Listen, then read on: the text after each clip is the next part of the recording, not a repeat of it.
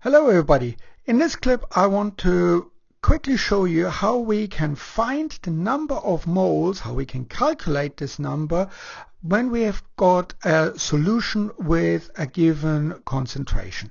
So let's say we have a solution with a concentration of 0.3 molar and we've got 0.1 liter of this uh, solution and we want to find out how many moles how many moles do we have in this volume of 0.1 liter.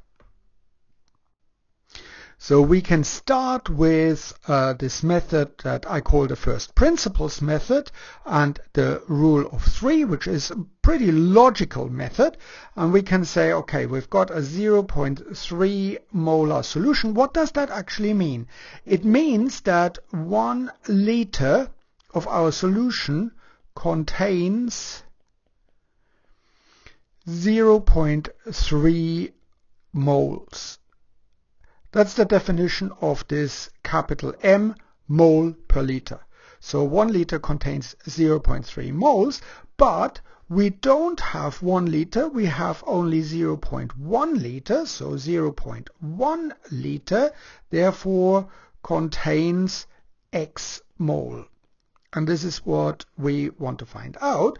So uh, we can set up this uh, set of uh, ratios, we can say 1 liter divided by 0.1 liter is the same as 0.3 mole divided by x mole.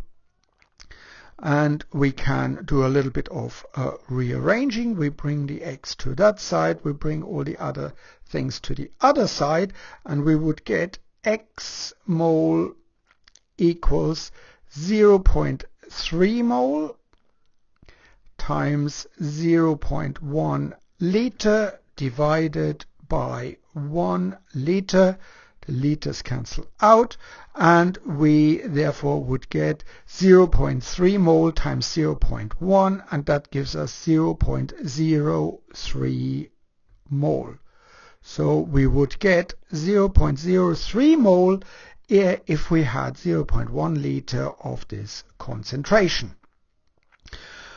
It is a logical method, but it's a little bit, you know, long-winded. So we can perhaps use a different method.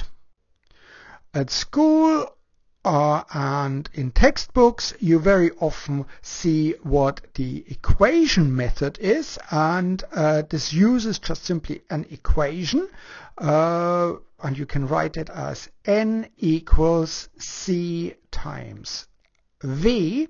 So N here is the number of moles. C is the concentration. Concentration. And the V stands for the volume. Uh, so we had a concentration of 0.3 molar and the volume was 0.1 liter. We need to be a little bit careful with this molar here because this means mole per liter. We need to be careful that we have the same units here in the volume and here in the concentration. But otherwise we just simply can plug in the numbers and we get N that's the number of moles, equals 0.3 mole per liter times 0.1 liter. Again, the liters cancel out if we've got this in the same unit and we get 0.03 mole as our answer. Of course, you would need to know and remember this equation here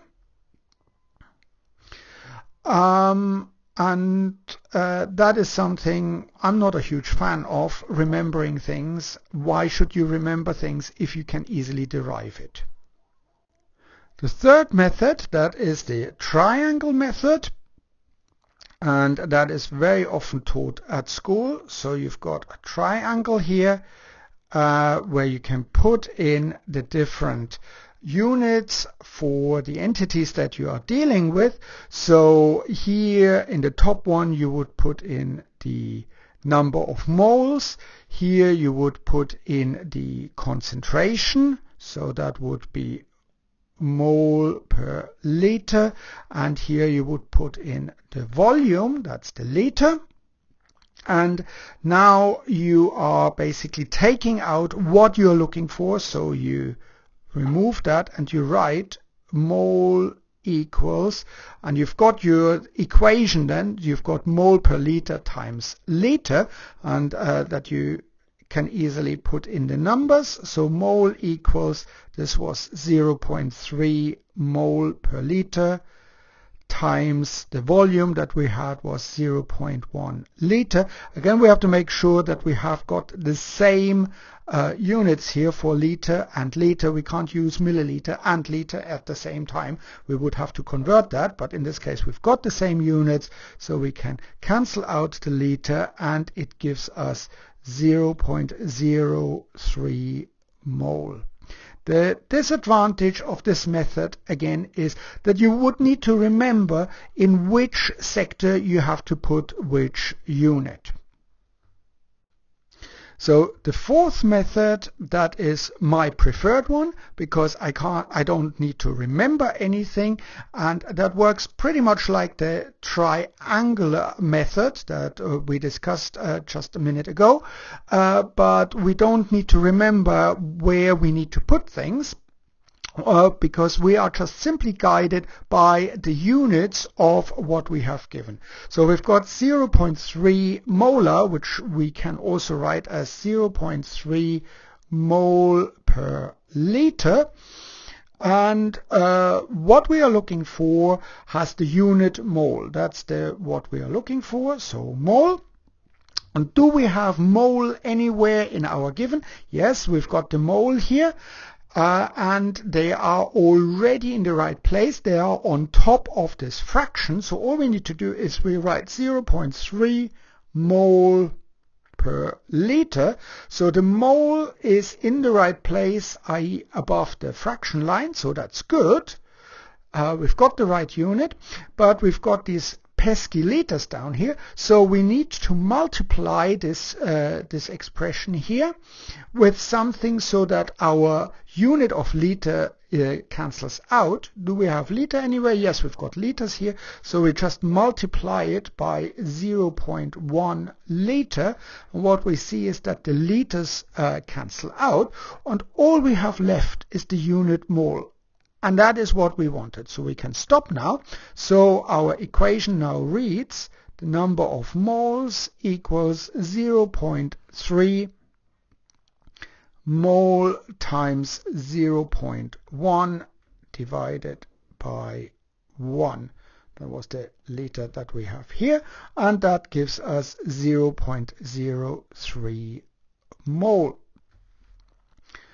And the advantage of this method is I don't really have to remember any equations. I don't have to remember where uh, the, the units go in the triangle or I don't have to do any fractions or something like that. I'm just guided by the units uh, that uh, basically tell me what equation I need to use.